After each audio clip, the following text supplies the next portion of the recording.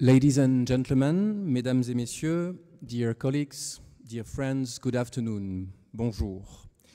I am Mathieu Leporini, the Science and Higher Education Attaché at the Institut Français in Helsinki, and I would like to welcome all of you this afternoon for this event. I will be the moderator for the opening session, and then the following session will be dedicated, as expected, to the panel discussion after the documentary screening. This event has been made possible thanks to a lot of persons and institutions, and I would like to briefly thank all of them. More specifically first, all our panelists and moderator from France and Finland, thank you so much, all of you being here today. And thank also to the city of Helsinki for their very kind support and help in hosting this event today.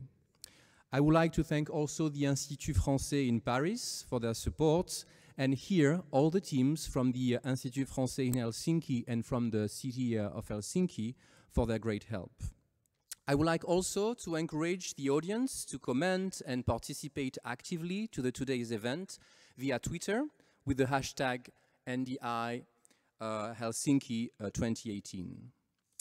In order to begin the official opening remarks of our first event on how can local power imagine sustainable solutions to global issues?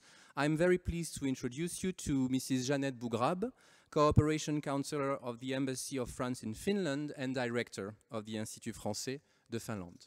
Jeannette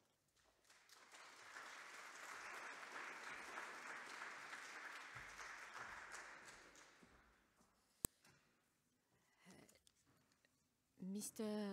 Monsieur le Sénateur, Madame la Vice-Maire, uh, ladies and gentlemen, on behalf of the French Institute, I would like to thank you for your presence for the opening of the third edition of La Nuit des Idées, the Night of Ideas.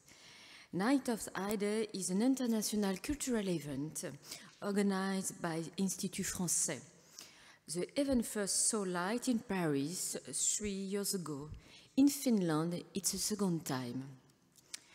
The goal of the Night of Idea is to celebrate the stream of ideas between country, cultures, topic, and generation. Every year, the Night of Idea gives the opportunity to discover the latest discovery in knowledge on art, to listen the one who contribute to bring more ideas to the field and to take part in the discussion about the many issues on our time.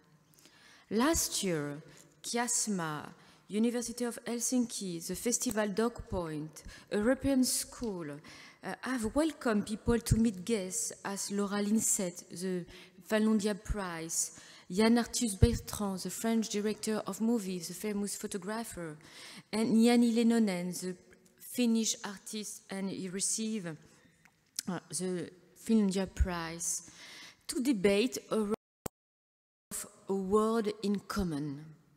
This year, during one night, this night, tonight, the Nuit des Idées is dedicated to l'imagination au pouvoir.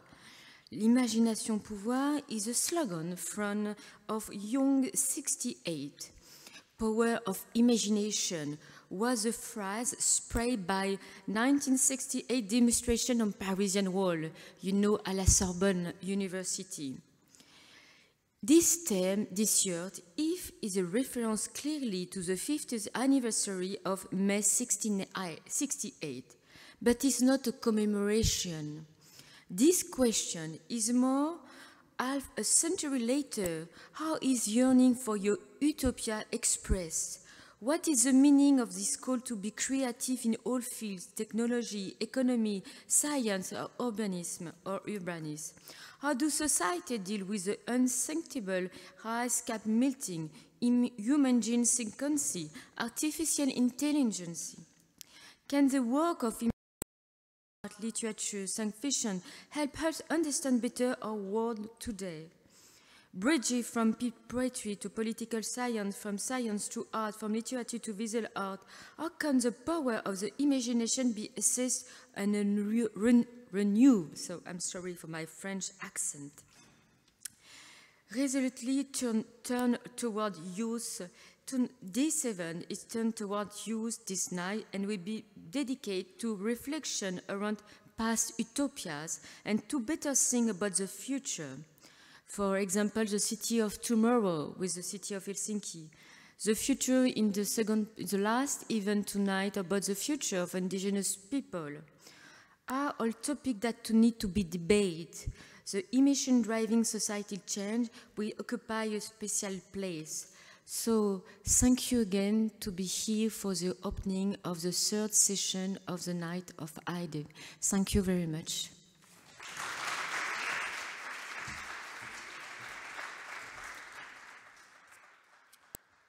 Thank you very much, Mrs. Bougrab. I'm delighted now to uh, introduce you to uh, Mr. Pasi Poisari, Coordinator of the UN Development Policy and Agenda at the Ministry of Foreign Affairs.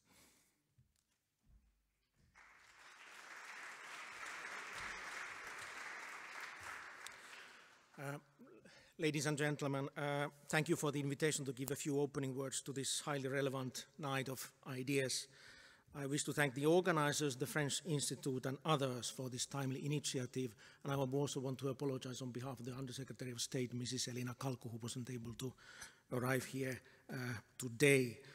Uh, she was asked to highlight Finnish actions towards sustainability in development cooperation. Uh, this is very important, of course, but this is only one but important element of the foreign ministry's activities towards sustainable development. Uh, foreign ministry's activities in crisis management, peace mediation, human rights or trade policy are also with the aim towards sustainable development. Today we are all confronted with a great task to transform our societies onto a sustainable path. The governments are responsible for implementation of the 2030 Agenda for Sustainable Development, but it requires everyone on board. In Finland, we have a strong in involving societies, and we promote this stakeholder participation in both national and international arenas, including our development cooperation. Finland's development policy and development cooperations are guided by the 2030 agenda. That's, by the way, what is missing here. I'm coordinator for the 2030 agenda, not only the agenda. Uh, of, that would be quite much if I be coordinator of the whole agenda of the foreign ministry. But after all, on the other hand, we can always say that everything that we do should have the same aim, and that is sustainable development. Uh, so the main goal of our development policy is to reduce poverty and inequality. We put particular emphasis on the rights of women and girls and on the strengthening of the developing countries' own economies to promote employment, livelihoods and well-being. The priorities also include the democracy and the functioning of societies, as well as access to food, water and energy, and the sustainable use of natural resources. What many developing countries need is a socially responsible private sector and sustainable investments to generate new jobs and livelihood opportunities. Also, we need to reduce and eliminate inequalities within these societies for development to reach all citizens so that no one is left behind. What are needed to achieve the 2030 agenda are functioning and accountable governance structures and a civil society that can address irregularities and consolidate the democratic foundations. Encouraging local participation is, a, is an essential part of our development cooperation. There are several exa excellent examples of how this local activism has served the implementation of the 2030 agenda in our partner countries. I give you two examples. Uh, in Tanzania, 16-year-old Modesta Joseph wanted to help local women and girls in order to make their lives free from sexual harassment. She coded a website where other young women and girls can report the sexual harassment they have encountered. She was further supported by a Finnish innovation program, TANZICT. And this TANZICT has supported over 60 startups in different fields of life. And we have similar innovation programs also many other partner countries. My another example is from Ethiopia, where Finland and Ethiopia have a bilateral water and sanitation project that is based on community managed project approach. This approach decentralizes service delivery by making communities responsible for the planning, implementation, and maintenance of their water schemes. The key feature of this approach and of this funding mechanism is that the communities receive funding which they manage themselves. These were two very different examples of our support to local actors. Naturally, there are many more. Uh, many of our broader programs have a built-in local participation element. And we encourage all Finnish actors in developing countries to network with their local counterparts. So last, let me once again wish you all welcome to this event and let us have a concrete and forward-looking discussion to feed us all with fresh ideas towards uh, full and effective implementation of the 2030 Agenda for Sustainable Development. Thank you.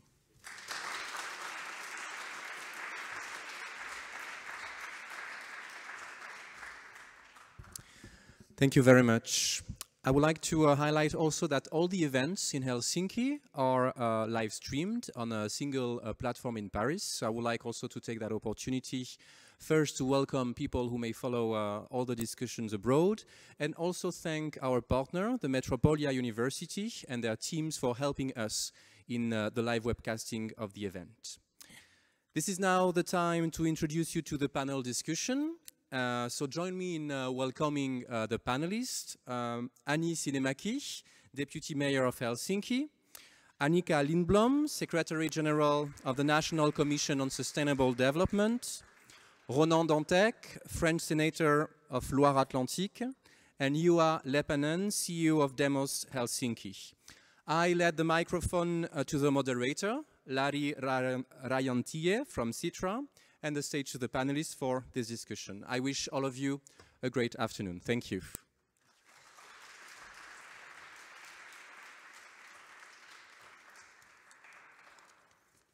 Thank you, and, and good, good afternoon, everybody. We will uh, so, soon see the very inspiring documentary uh, uh, which is about uh, small town of Ungersheim, which uh, uh, aims to, to be sort of a, a sustainable, sustainable self-sustaining uh, community.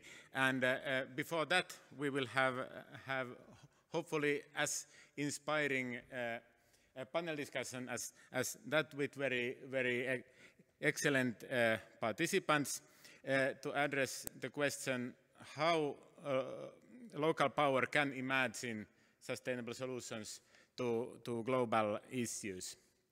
And uh, uh, first, I would like to ask uh, Mrs. Anni Sinnemäki, the Deputy Mayor of, of Helsinki, to, to address this question. Please. Thank you, and uh, good afternoon to, to everyone. And uh, from Helsinki's behalf, uh, very welcome.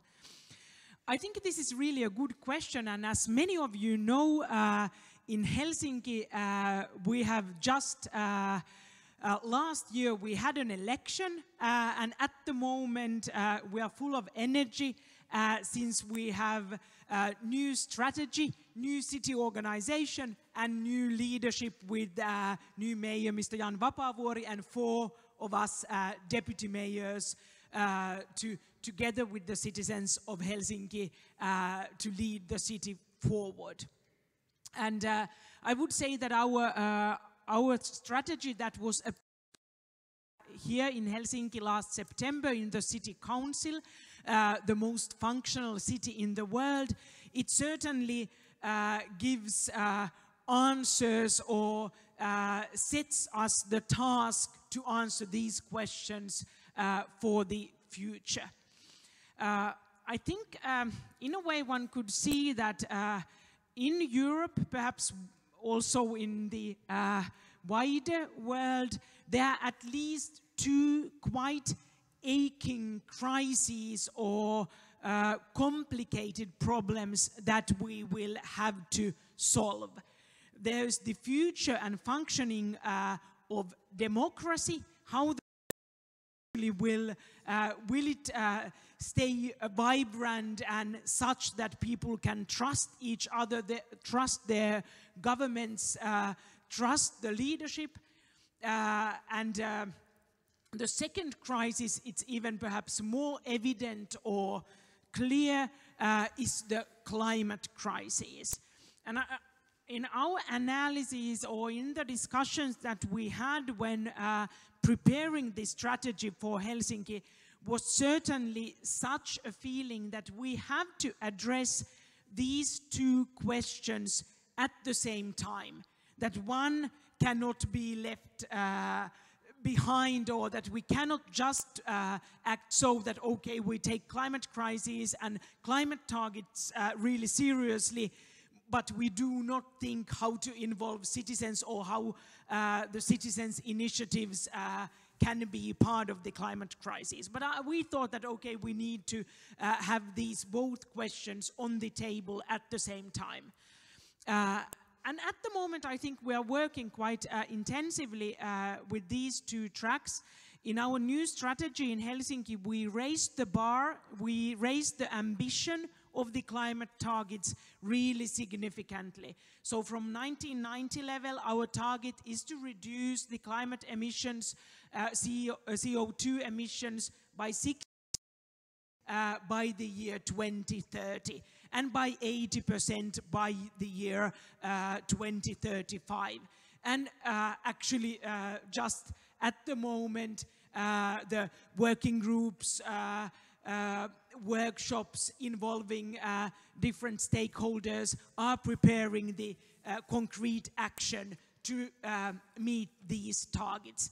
And at the moment already we can say that everything is needed. All the fields are needing, needed and everyone's, be it companies, be it research institutions or uh, NGOs or active citizens, everyone's work will be needed.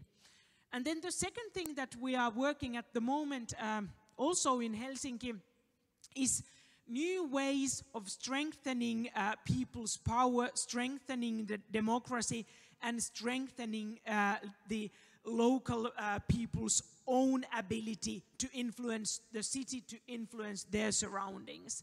Um, there are many um, tracks that we are working on. One of the most interesting ones uh, that will take place this year, uh, 2018, is that we will, for the first time in Helsinki, introduce uh, our model of uh, participatory budgeting. And there is 4 million euros reserved to that, uh, uh that project. So we will collect uh, ideas to be funded uh, from the citizens and citizens groups. Uh, there will be analyses uh, by the civil service and then also votings that will decide that what other concrete projects that will be funded.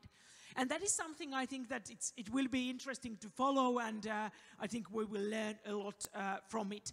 But it's not the only thing that is happening uh, within the eng engagement, but there are many uh, initiatives in different fields of city government, from city planning to social and health services, where new ways and models of, uh, of uh, engagement uh, uh, of citizens are going to take place.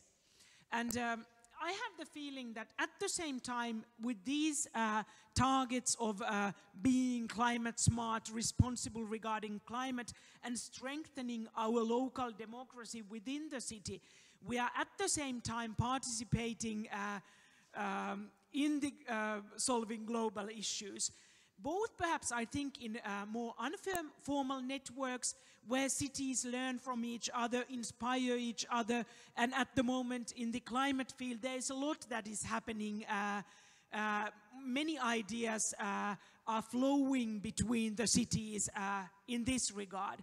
And perhaps then in a more formal way, uh, I feel that we are participating in the UN context making and uh, making new urban agenda real, uh, which uh, I, I, think Annika then uh, will speak more. Uh, that was, in a sort of nutshell, not the smallest nutshell, what I wanted to say. Thank you.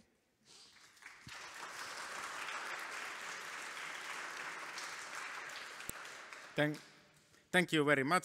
Uh, next, I would like to ask uh, Mrs. Annika Lindblom, uh, the Secretary General of the National Commission for Sustainable Development, uh, and you also are uh, coordinating the implementation of uh, Agenda 2030 and and the Sustainable Development Goals here in Finland. So maybe you will address those issues as well in your speech.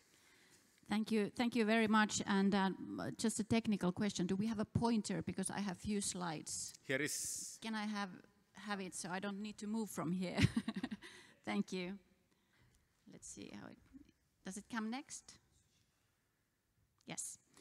Okay, good afternoon everybody. As, as was introduced, my name is Annika Lindblom and I work as a Secretary General in the National Commission on Sustainable Development. Unfortunately, the permanent secretary of the Ministry of the Environment, Mrs. Hannele Pokka, couldn't come because of illness, but I try to replace her as, as well as possible, although my, my topic will be slightly different. Um, well, just two few words on, on the commission that I represent. We have in Finland this national commission, um, we have had it for 25 years now, without interruption. We have had it under 10 governments, under seven uh, prime ministers, and actually under Mrs. Sinnemäki when she worked as a Minister of Labour at, at that time. But basically, it has been led by the Prime Minister. What is unique in our commission is that it includes basically all spheres of the society.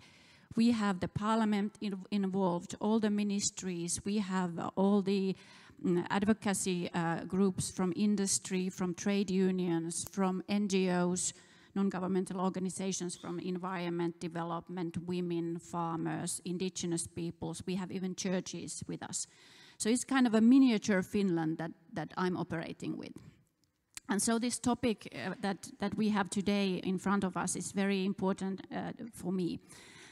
And now uh, when we think, and it was already mentioned that um, um, even though Finland, we in Finland, we have had this very long-term tradition of, of doing sustainable development policies and measures, the 2030 Agenda for Sustainable Development, which was adopted uh, in, in, at the highest level in New York in 2015, set actually like a new baseline for all the countries in the world this universal agenda really forced us also in Finland to look at the mirror.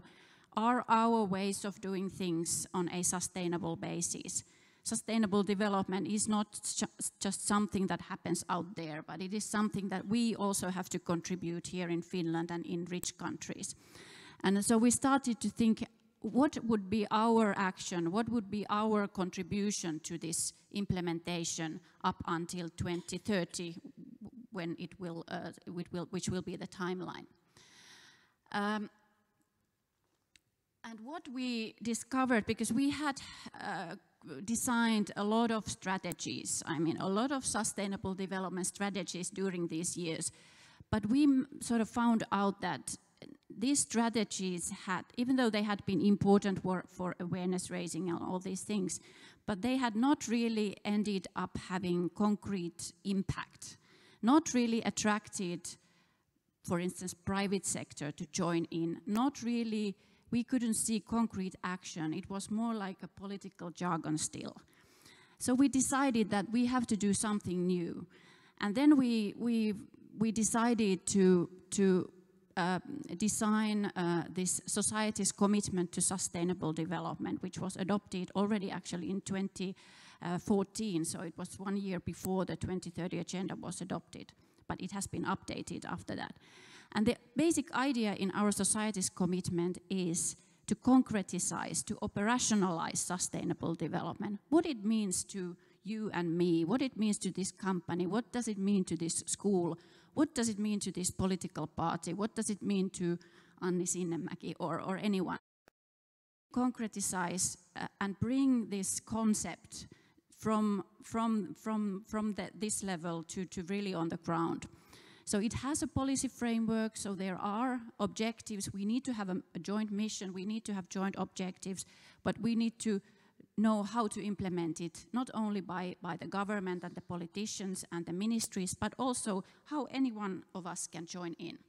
And, and, we are quite proud of this because not normally people think that civil servants can be innovative, but, but we did it. So this is uh, just to characterize uh, what is our aim. We have at the moment 756 uh, individual commitments from all all uh, actors of, of, the Finnish society. Uh, maybe one third of them come from companies, and then there are a lot of schools, a lot of municipalities, uh, a lot of, of course, uh, different organizations. And what we aim at is to really create this positive circle of action, to really create the systemic change towards sustainable development here in Finland and, and to really see uh, change happening. And this is just one example what we aim at, to have these clusters between different theme areas. For instance, food waste is something that many of the actors that have joined in our partnership, they have committed to.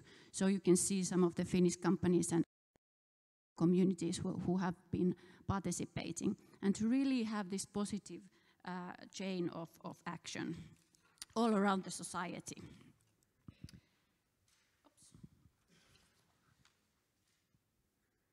And then we have also um, uh, sort of witnessed that the, the, our, our tool, the society's commitment, can also also uh, create alternative tools to fulfill, for instance, environmental obligations.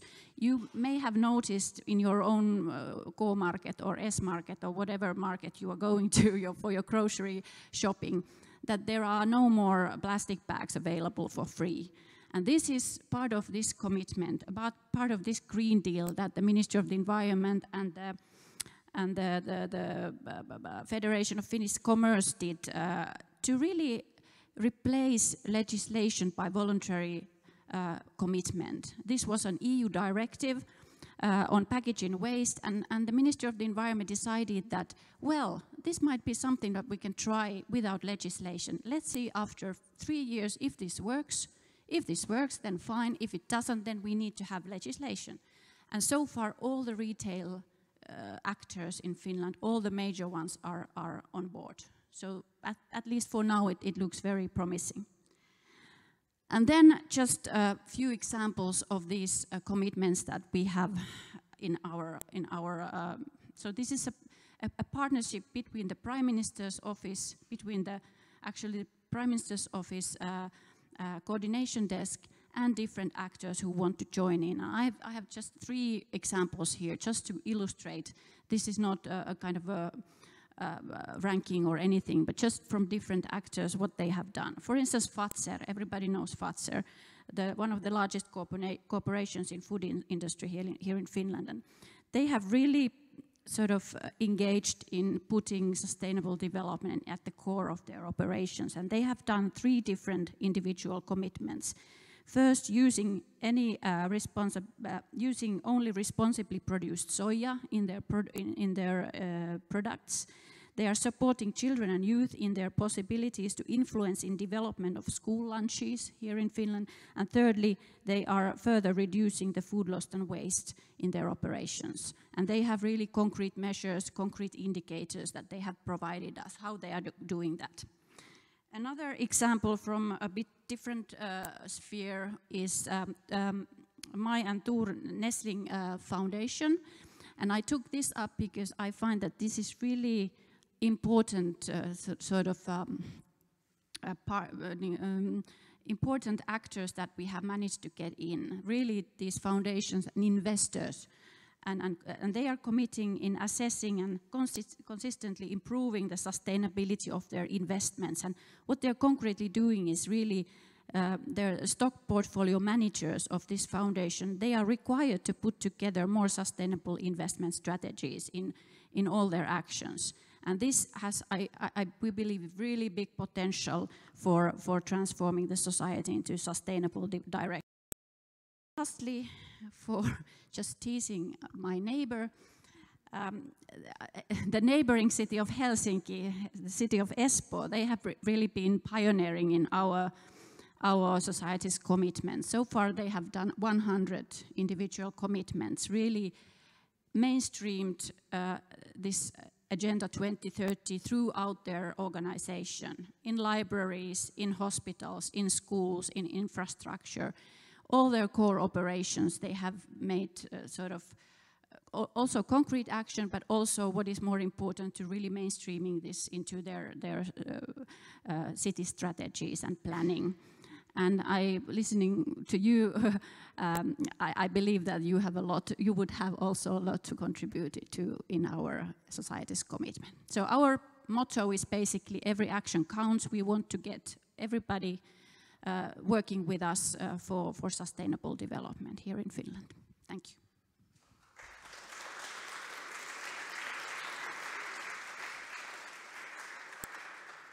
Thank, thank you. And uh, uh, next, would, it would be interesting to hear some perspective from, from France. And we have in the, in the panel uh, Ronan Dantec, Senator of, of Loire-Atlantique region in France, and uh, also uh, very much active in sustainable cities, and uh, if I'm correct, also a former deputy mayor of city of Nantes, which was European Green Capital in, in 2013. Please. Thank you, and thank you to invite me uh, here in Helsinki in Finland. Uh, first, I'm absolutely sorry with my French accent. Uh, normally, if you speak French, you can understand me in English. If you speak just English, it's not true. Uh, I try to, to speak my better English, but I'm sorry. Uh, uh, uh it, it's important to be here because I'm sure that today in the world, I have some action at the world level as uh, UCLG, spokesperson for, for climate issue. Uh, Finland is one of the best examples in the world to do the link, a strong link between uh, climate issues and sustainable, sustainable development issue. I think it, it's, a, it's a very, very important point. Um, in 2015, as you know, uh, uh, we have found the, the deal with uh, the Paris Agreement climate change, but the, the same year in September in New York, uh, we have uh, we have the uh, the deal with the 17 sustainable development goal. It's the same agenda. It's the same agenda.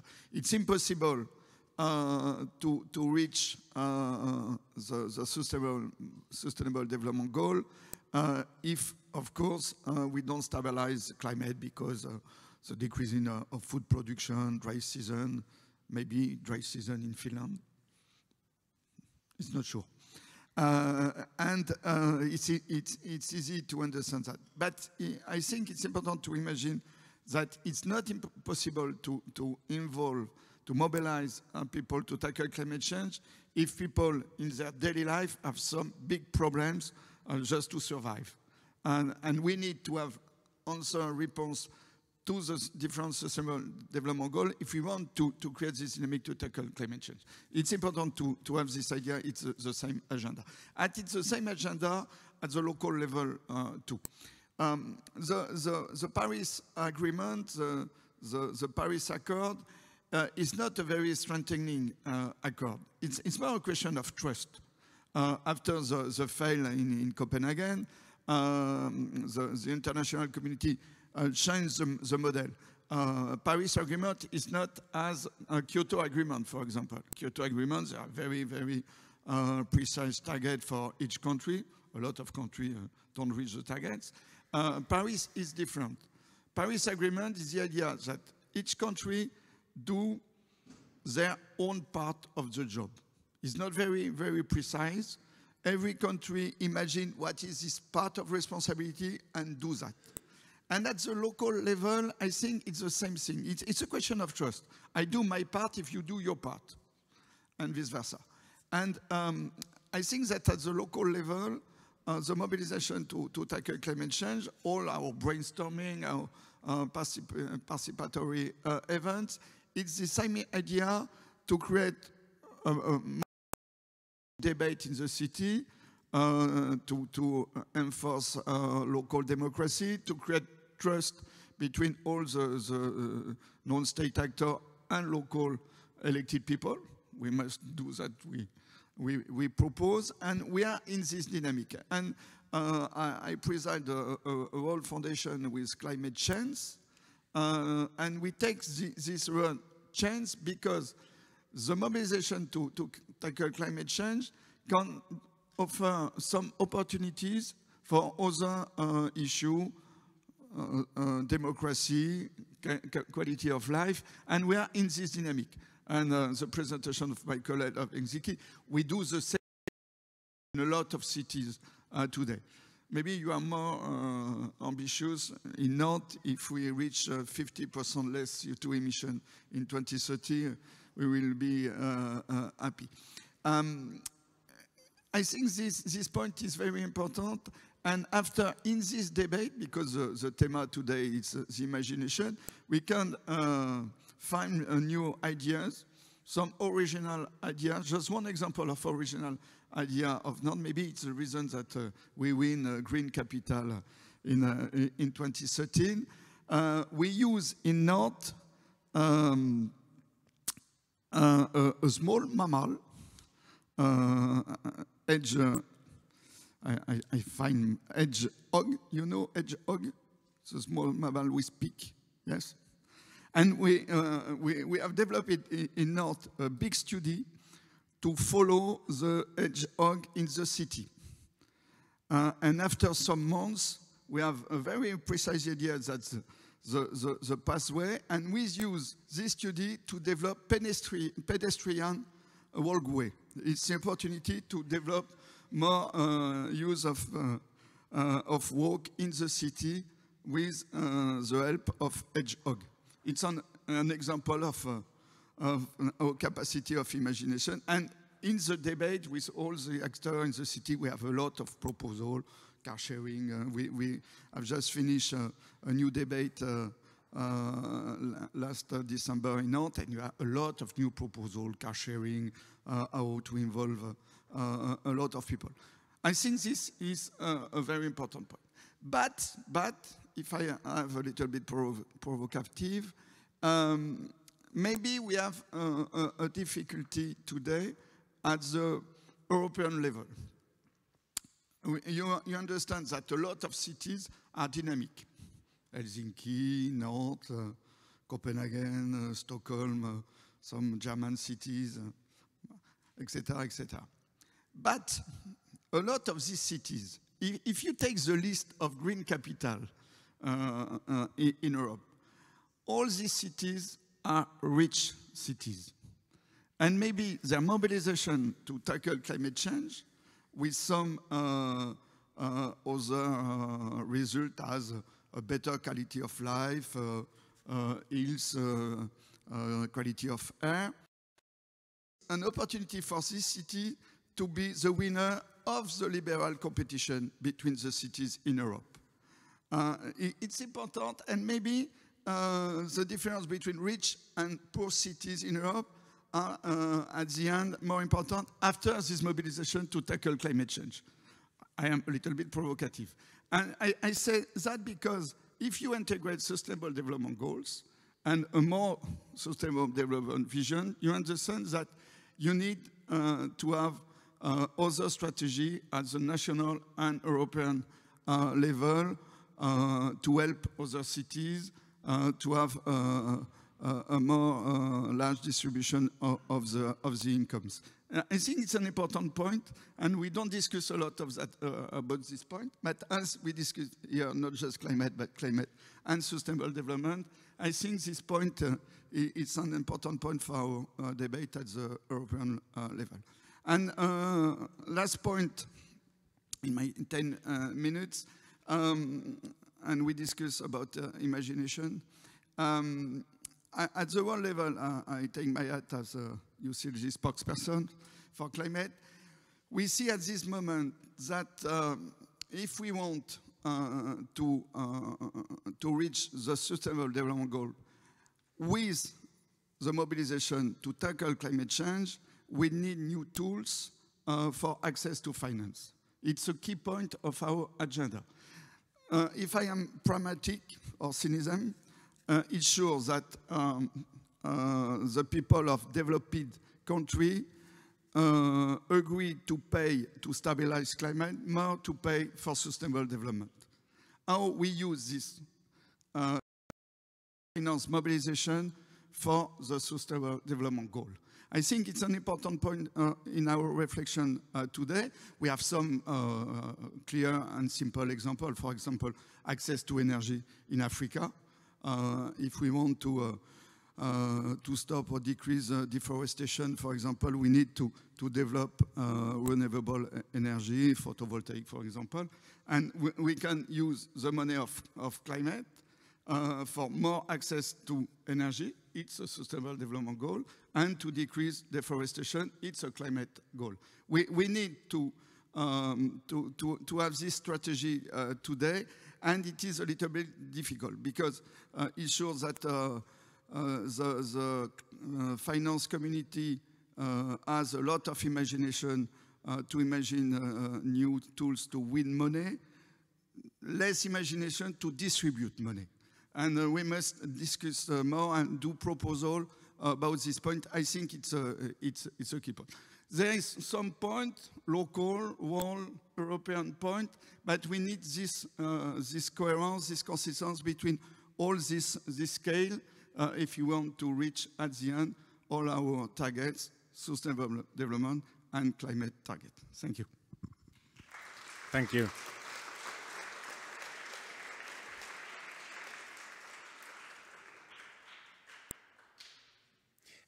And next, uh, Juha Leppänen is the CEO of, of uh, think tank Demos Helsinki, and uh, well, I have been, I have had a privilege of, of doing a lot of collaboration with them, and and you you you, well, you have quite good experiences from sustainability and participatory projects and things like that. So maybe some some perspectives from from that.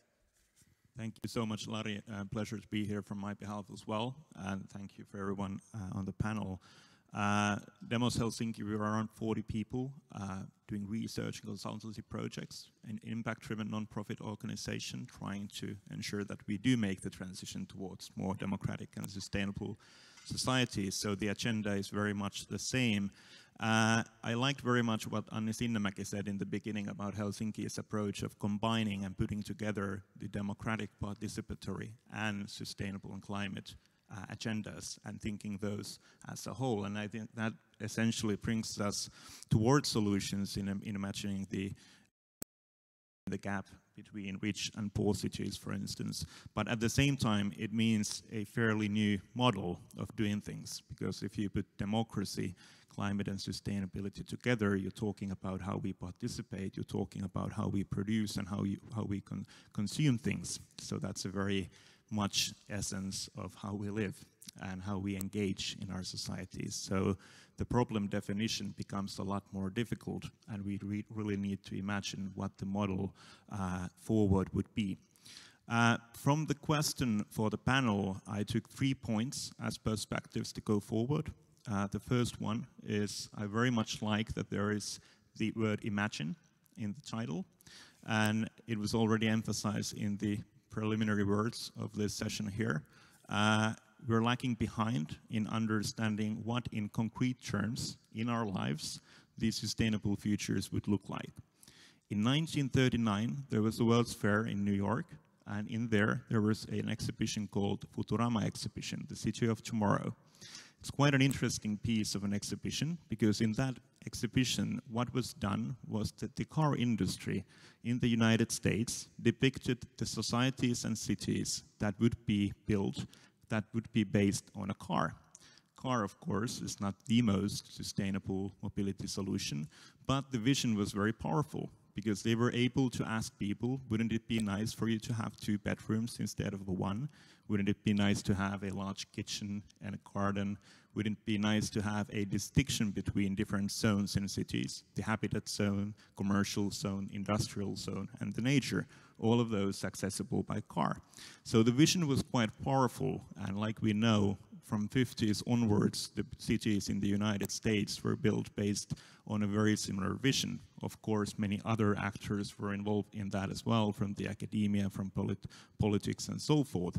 But what, we're lacking, at least from my perspective now, is that the, S, the Sustainable Development Goals offer us an opportunity to imagine uh, they offer us some type of a concrete way to touch what the futures could look like and how those futures would be for us as people. What would those mean in terms of lifestyles? But we don't have a very comprehensive idea yet. And I think the responsibility in imagining and in thinking what the concrete life in sustainable cities uh, that have tackled climate change is within the cities, and that's something that could be done together with the citizens in those cities.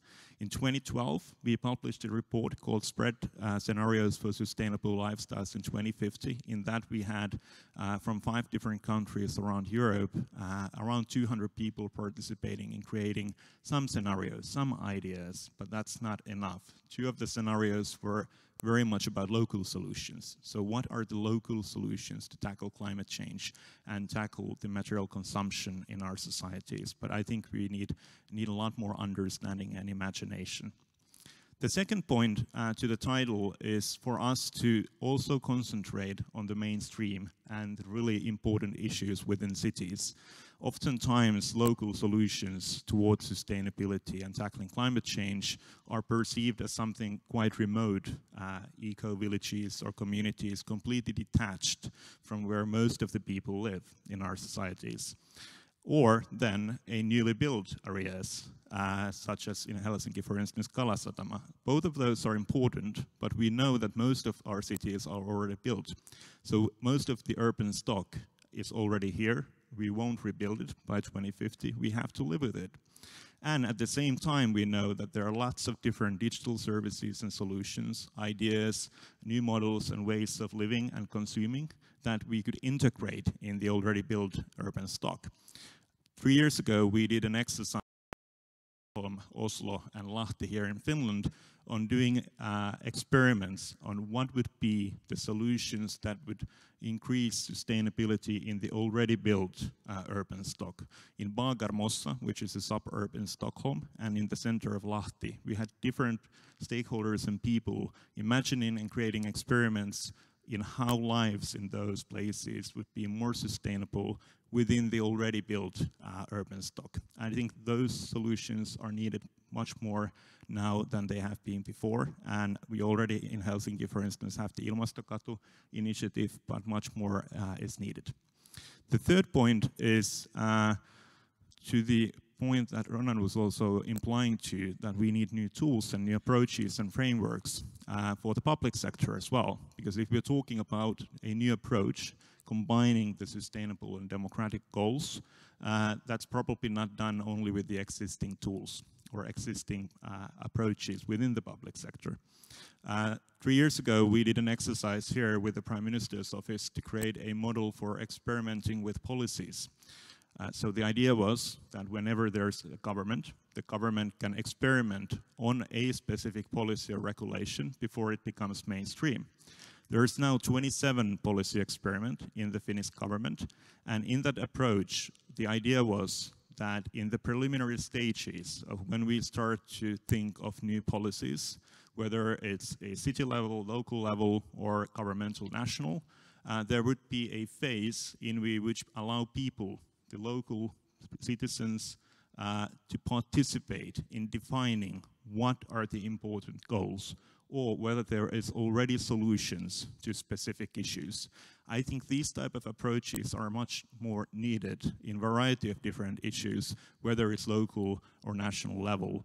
But that, but it's a very, very difficult task because it means that we need to give power from, uh, uh, from the public sector and the official policy design back to the citizens through new approaches. And the participatory budgeting measures uh, already uh, put out here are one ways to do that, but I think we need much more uh, frames, frameworks and tools uh, to do that on a variety of different issues. So these three, imagination, uh, focusing on mainstream and important themes, and finally, new frameworks and tools to tackle the very complex issues talked today here. Thank you.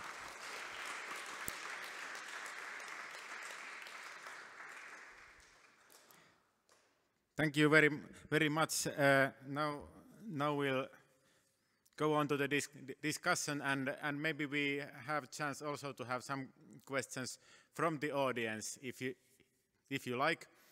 But I, I would first like to start asking about the role of, well, we, we, are, talking here about how the local power can, can imagine sustainable solutions and we, and we do have in the documentary good example of a local community which actually has, has taken action here. But uh, how, how do you see in, in general, is there this kind of uh, power and, uh, and enthusiasm in the people that they, the power which actually could be used for solving these problems and, and what, for example, cities or, or legislation could do about that? Sinnemäki. Thank you.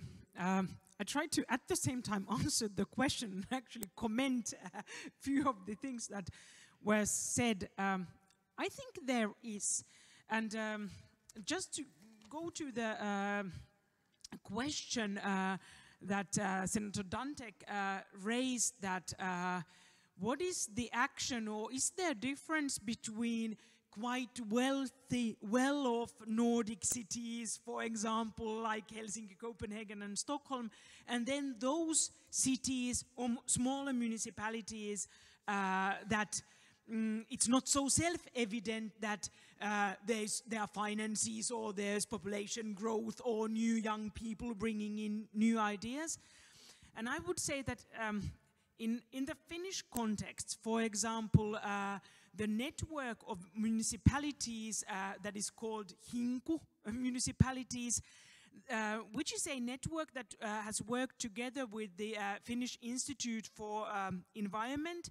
And there, I think what um, what has happened, there have, have been really different municipalities from sort of uh, uh, first Uusikaupunki, for example, which is uh, not a big city, and when they started to participate in the program of really ambitious climate targets in the Finnish context, they were not so well off. They have been a sort of quite, uh, there has been a um, outer industry. It's the only place in Finland where actually you can build cars. And at that time, when they started their um, climate action, they were really not aware uh, what will happen. Now, act actually, they have succeeded with that factory. Uh, but I think that part of their energy came from the fact that they actually wanted to do something new and more ambitious. And different uh, municipalities that has participated, for example, in this Hinku network, I, I think it's an inspiring example that actually, uh, be it Padasjoki, that I don't even remember how many people there are, but certainly less than in majority of the uh, Helsinki neighborhoods. Uh, and they have done their thing. So in a way, I think that actually climate action and doing things differently can be something that energizes uh, communities there where you do not have so many resources or, for example, where the uh, population is, um, is declining.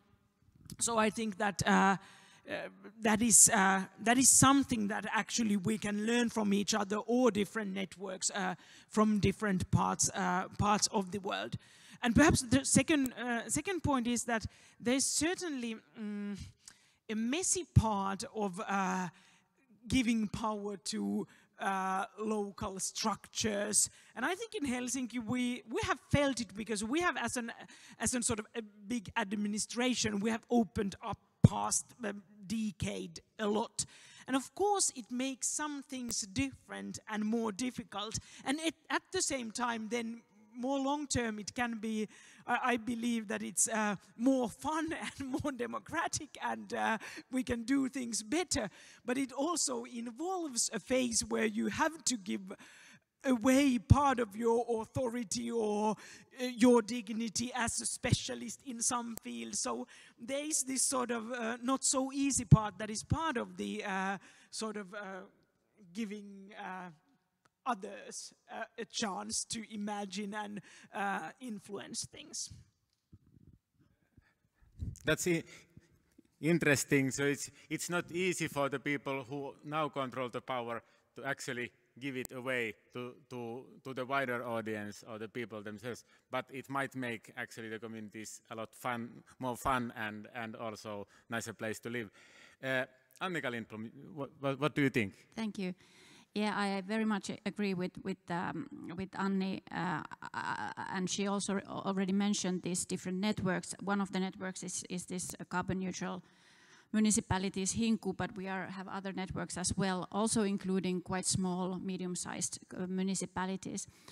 And we think in the state administration really that, that uh, municipalities and cities are the, the laboratories of change because that is really the place where action happens and whereas many times it's, it's easier I, I, don't say easier because I haven't worked for a municipality, but I would say that you can see the concrete results more easily. And that motivates uh, the actors to really work together, to, to, to set targets and to really work for them.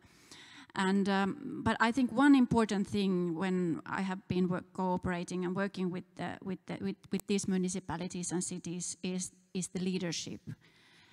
You have all these municipalities who have sort of agreed upon ambitious targets for their climate policies or sustainable development policies. They have had a very innovative, uh, inspired, uh, active uh, mayors or, or um, let's say, top-level uh, both politicians and, and, civil servants. And I think that is crucial. It is not enough that some environment uh, department um, head of unit is excited. It's fine, it's great, but it's not enough to really make this big wheel running. Uh, and, and, and I think that when we think of Helsinki, you, your, your starting point is very good, uh, given that, that both um, uh, Mayor Vapaavuori and, and yourself, you, you're very dedicated on these issues. So the role of leadership in municipalities and cities is very crucial if something big is going to, uh, is ought to be happen. Thanks.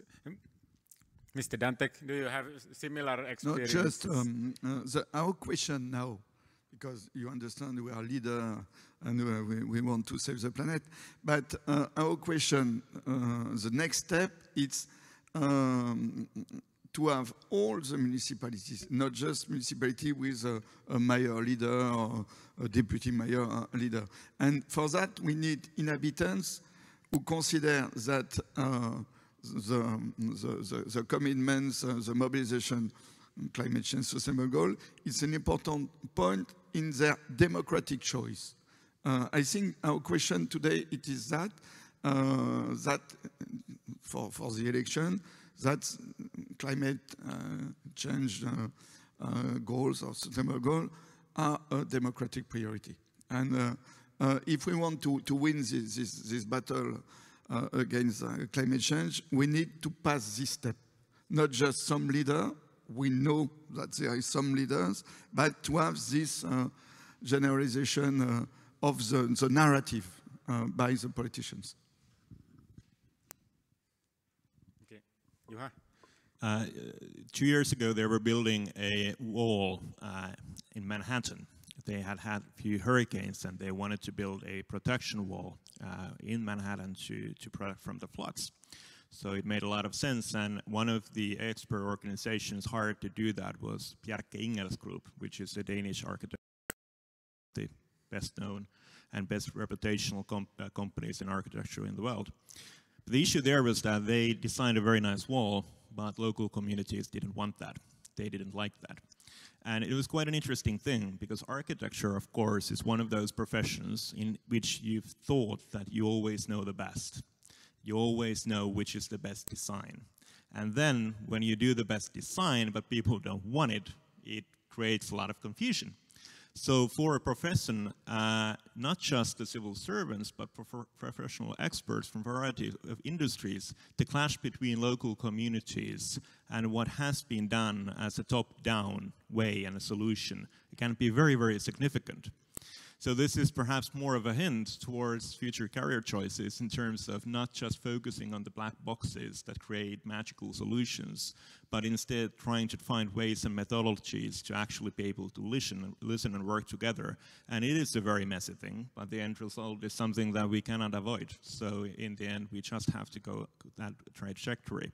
Uh, to what Senator Dantec said, I, I, agree, and I think that at this point, uh, we're in a phase in which we have specific leaders and specific models by those leaders. So we have Barcelona doing its thing uh, very much in relation to how they work with digital solutions and how they open those solutions. There's Helsinki, of course, for years already. There's Paris, uh, there's Lyon. There are many, many places.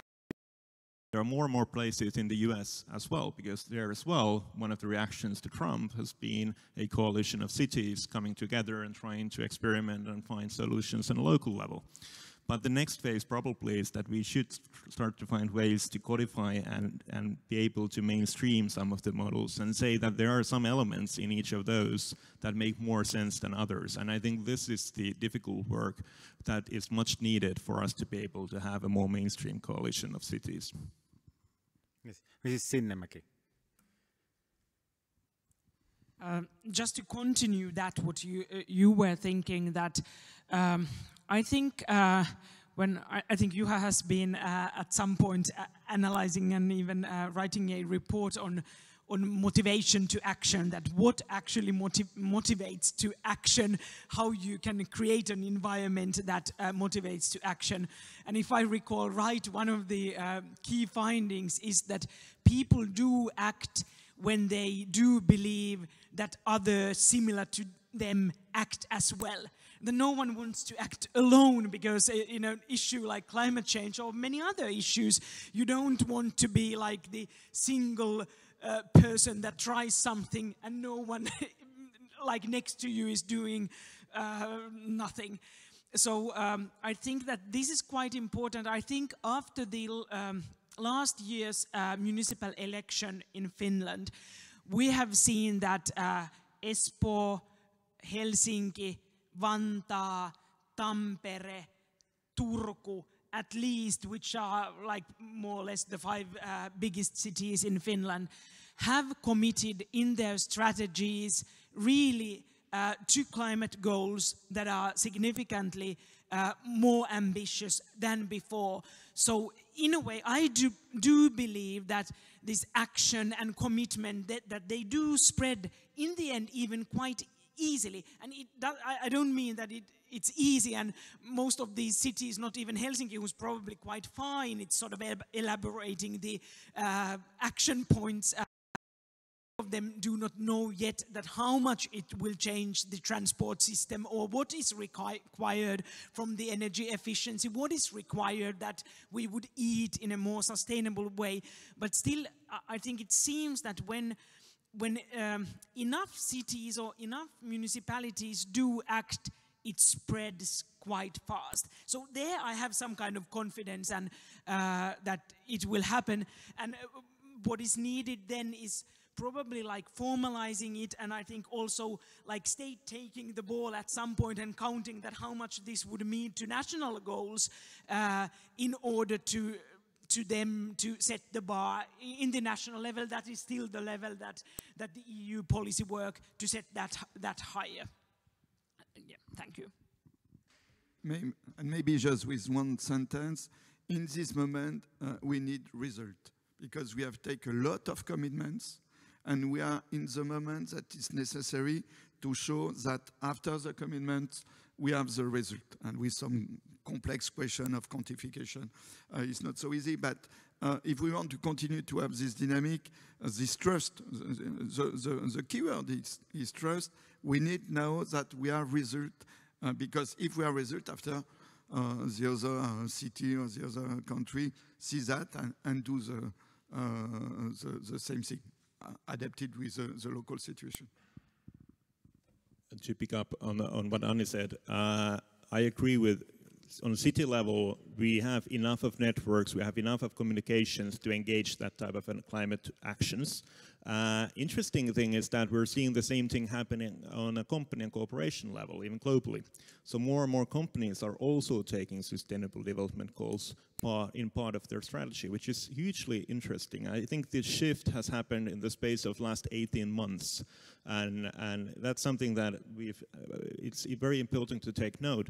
But what we're lacking perhaps is how we ensure that people and communi communities are able to share those ideas together because there are not too many actors that are incentivized to do that. There are not too many networks that allow us to essentially show that these things already happen. And I think this is something, uh, if we want to tackle climate issues, uh, we need to tackle them on every level. And this level is something that can be neglected uh, quite easily. Of course, there are initiatives, but, uh, but we need a little bit more.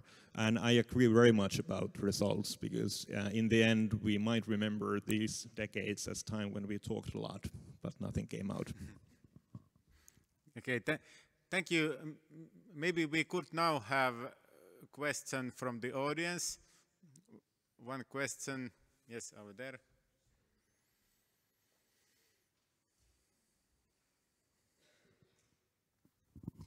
Thank you for the great discussion.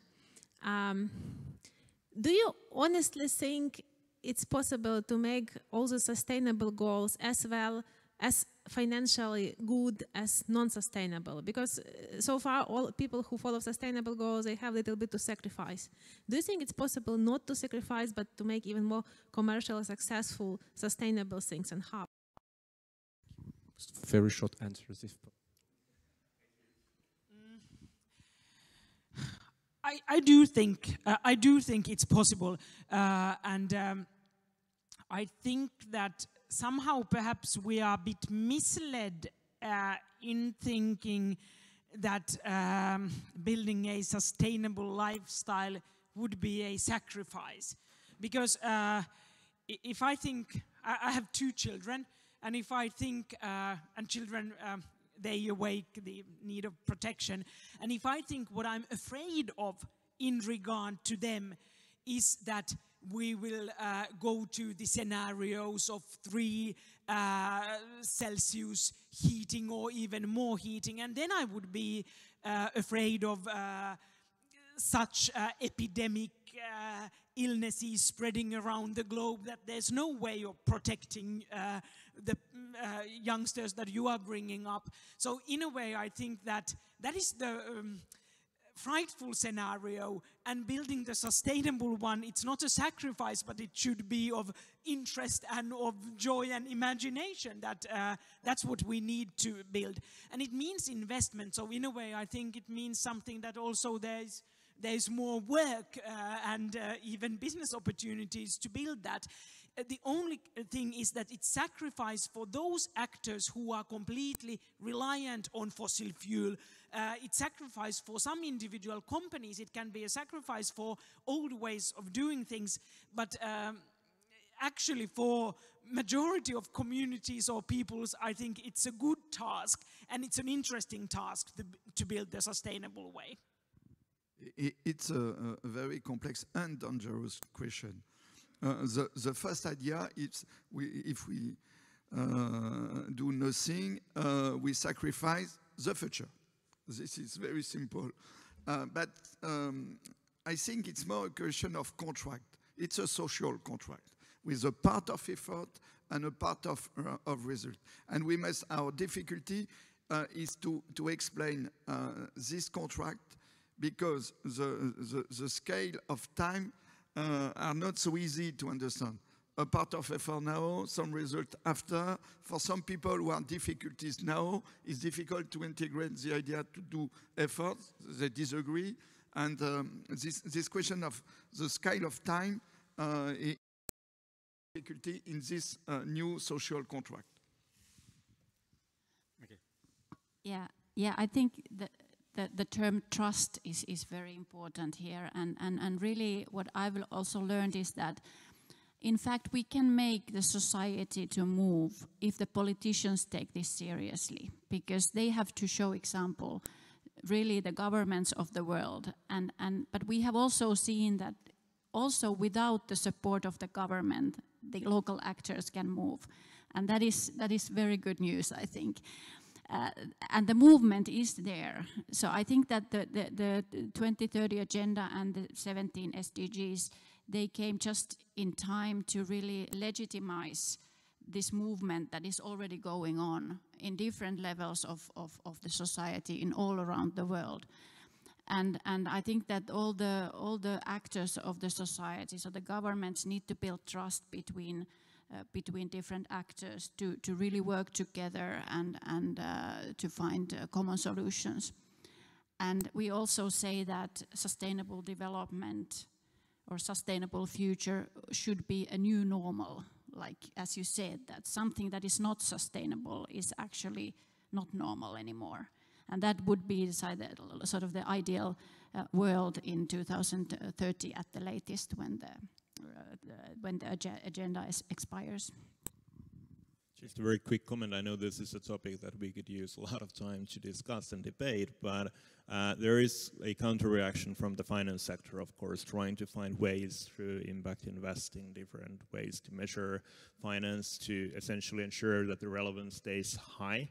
Uh, personally, I think we do need a, a, rethinking of the economic model we're having, and it is very much about social contract, and it's about defining uh, also partly who wins and who doesn't. And we know uh, who won't be on the winner's side, which are the very fossil heavy industries uh, currently. I think the only thing, and this is of course a huge and enormous task, so it's not something that it needs to be begun, but it's not a very easy or quick thing to implement. But what I'm very worried about is that we'll, as we know, the urgency is the issue here. It's not about us not knowing what to do, it's about whether we're able to implement quick enough.